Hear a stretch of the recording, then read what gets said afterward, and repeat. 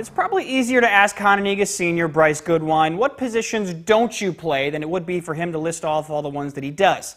While there's plenty of talent at the high school level in northern Illinois, Goodwine might just be the most dynamic of them all. We feature him this week in our Spotlight segment.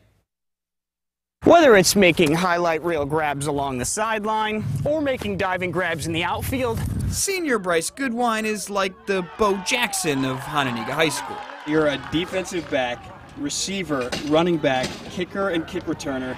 And then in baseball, you're a switch hitting outfielder that hit 451 last year. Were you always a do it all kind of athlete?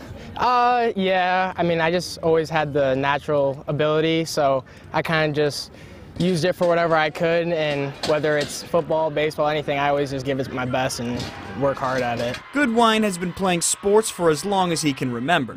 Coming up through the ranks, he had built quite a reputation in the Indians junior tackle program. He was always the fastest kid, most athletic on baseball field, football field, no matter what. He always played up too in football. They were talking about, oh, we got this kid, and uh, every time we give him the ball, he scores a touchdown.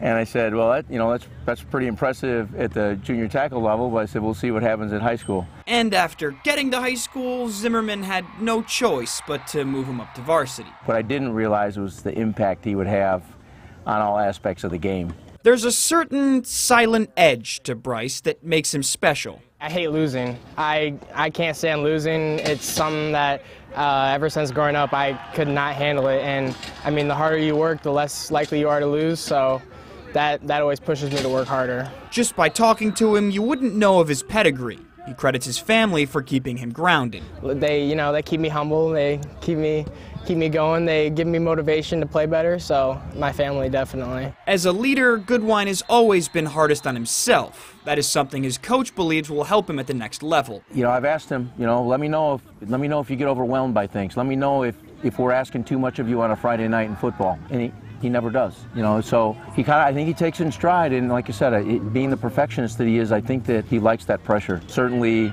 we're a much better team and uh, a, a much better place because of his presence.